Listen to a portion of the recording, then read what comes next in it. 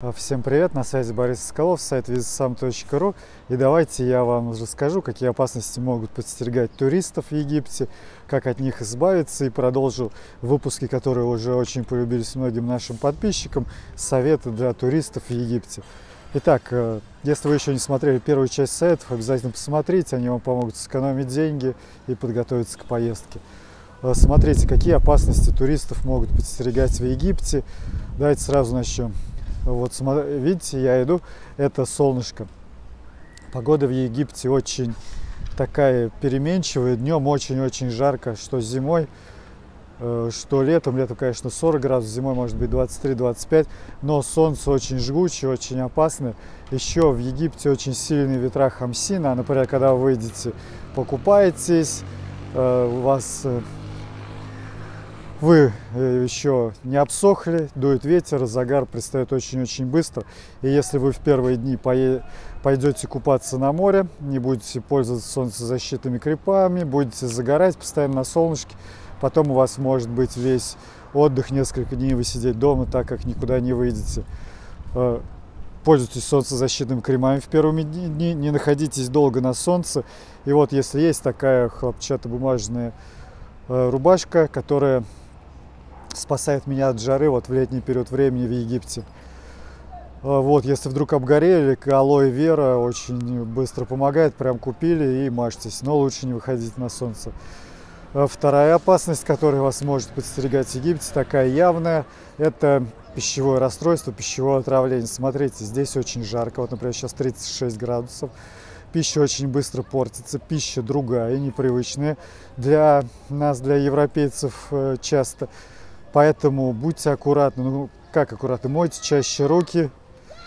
Э, вот прямо салфетки влажные берите, еще что-то. Вот я вот э, целый год, вот когда был ковид, вот э, мыл руки, салфетки. Здесь вот приехал в Египет тоже. Потом забыл несколько раз. Ну и дней пять, извиняюсь за подробности, была диарея. Никуда не выйдешь. Хорошо, что я здесь живу два с половиной месяца. Вот если вы приехали на 7 дней, это очень, кстати, часто, вы думаете, я говорю элементарные вещи, именно в Египте очень у моих знакомых, особенно кто работает гидами, рассказывают, что у многих туристов с непривычки, кушать все хочется, еда в отелях все включено, э, мойте руки. Если у вас вдруг это случилось, смотрите, еще какой момент. Русские таблетки не все здесь помогают. Например, вы взяли уголь, левомицетин, но так как здесь другие маленько отравления – другая специфика, то если им не помогают русские, используйте местные. Вот очень классная вещь, антинал. Вот запомните, антинал это от диареи, помогает быстро. Две таблетки надо в три раза в день. Вот, э, так что используйте местные таблетки. И опять я говорю на собственном опыте, у меня было это, пробовал русские, что-то никак, вот пять дней мучился, э, проконсультировался с местными специалистами, опять с русскоязычными, кто здесь живет. И мне сразу сказали, ну, ну используй египетские таблетки, все сразу через два дня прошло. Вот, будьте аккуратны. Третий важный момент, который, опасность, которая может подстерегать туристов, это рифы, коралловые рифы, особенно в Шарм-эль-Шейхе. Смотрите, какой пляж, если там коралловый пляж, много коралловых рифов – то будьте аккуратны, когда заходите, когда купаетесь. Если порежетесь, например, глубоко порезались, климат влажный, у вас отдых 7 дней, потом будете ходить, хромать или там порезанные об коралловые рифы. Будьте аккуратны, берите тапочки, если у вас коралловые рифы. И сначала проверьте морское дно, куда вы идете купаться. Четвертый важный момент, который, опасность, которая подстерегает туристов, это будьте, следите аккуратно за своими вещами. Вот в Египте был ковид, были революции, э, ну, э, очень большая часть населения стала жить беднее. И если раньше, например, вот э, велосипед оставляли, то вот сейчас мои знакомые даже, ну вот кто здесь живет, велосипед прямо с подъезда выдирали с замком. Туристов, конечно, это не касается, но следите за своими вещами, вот опять слышал случай, женщина в отеле, например, ездила на яхте, то ли где-то забыла телефон, то ли где-то кто-то ее украл. Ну, в общем, у нее потерялся телефон, естественно, никто не вернул ей. То же самое я слышал от таксистов, которые э, также девушки забывали телефон в такси в красно-оранжевых, и потом эти таксисты хотели его продать, там не возвращали, ну, сумочку. Так что я вам советую, например, на Uber ездить. Э, приезжают, э, во-первых, Uber эта система такая известная, во-вторых, приезжают, скажем так, обычно вот на Uber такие хорошие машины, достаточно богатые люди, но опрятные, и вы всегда можете через Uber запросить, чем вы сели -то в это такси, не знаете даже с кого запросить, если вы вдруг оставили вещи. Вот так что будьте аккуратны. Еще одна опасность, которая подстерегает туристов, это если вы едете в Египет первый раз, обязательно посмотрите мое видео с совета незнание местного климата. Вот, например, вот видите, дуют ветра. Вот они, например, зимой, январь, февраль, даже первая половина марта очень сильно ветра дуют. Туристы смотрят погоду, солнышко 25 градусов, поехали. В море нельзя зайти, ну, очень холодные. Э, такими урывками бегают, купаются днем.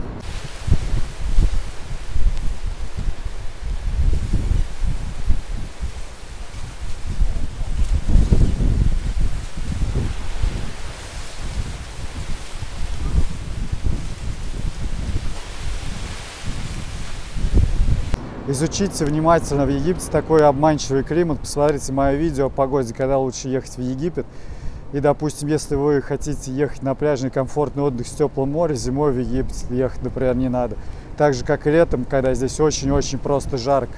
А зимой вот такие ветра, и в море зайти, и он может этот ветер 10 дней дуть в феврале, и в море вам зайти будет сложно, вот даже камеру сносит. Вот такие вот опасности подстерегают туристов в виде ветра. Сейчас паузу сделаю. Еще опасность, которую я считаю реально опасность, когда туристам пытаются продать в три дорого экскурсии какие-то товары, услуги. Я даже записал об этом видео, как разводят туристов в Египте. Обязательно посмотрите, чтобы не попасться на эти уловки. Ну, например, вот, э, ну это действительно развод, потому что это неправда. Например, отельные гиды э, могут продать, чтобы продать вам экскурсии по завышенным ценам, обязательно заставить вас прийти на встречу, на которую вы прийти не обязаны, тратить свое время и рассказывать вам, ну, неправду, что, например, вам надо прийти, чтобы зарегистрироваться обязательно, отдать ваучер, чтобы на обратную поездку, э, зарегистрировать вас, как вы заселяетесь в отель, вас зарегистрировали, вы оплатили тур, у вас обратный ваучер, он как был, так и есть. Ваша задача лишь позвонить там и узнать время выезда. То есть ходить вы не обязаны и тратить свои, там, допустим, полдня, например, вам скажут встречу в 11, вы полдня тратите и слушаете, как вам продают экскурсию по цене в два раза дороже. Ну вот э, пример, я посмотрите видео о разводах, там подробно это написано, как, например, когда экскурсия в Люксор, в Каир стоит на улице 50 долларов, я умудряюсь за 130 пятизвездочных отелей отельные гиды продавать.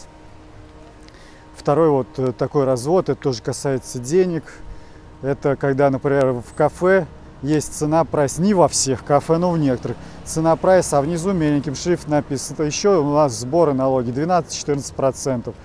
Особенно, когда у вас денег впритык, вы посмотрели, а потом вам принесли счет 14%. И еще у них нет мелкой сдачи, допустим, 1, 2, 3 фунта, и вы таким образом заплатили свыше там стоимости блюда процентов 15-16.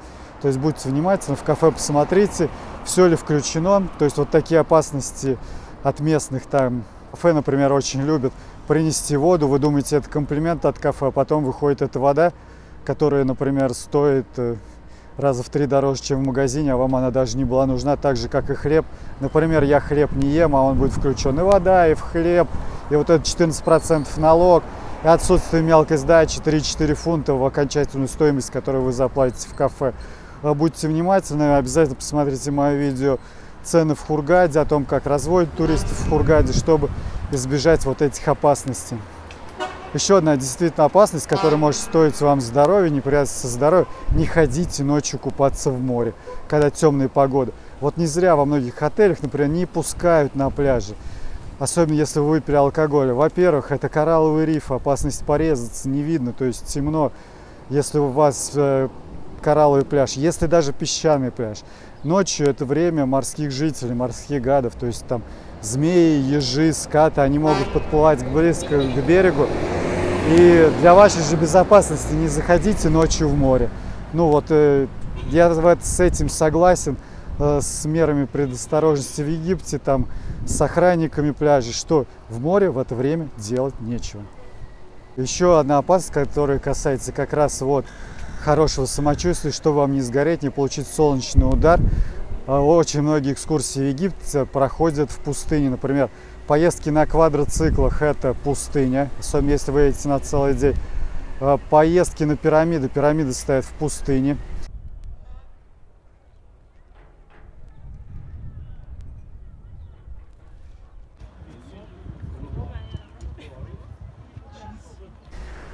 Луксор – это древний город, храмы, гробницы царей находятся в пустыне, и там температура еще жарче. То есть, например, вот сейчас в Кургане 35, я приехал из Люксора, там было 45.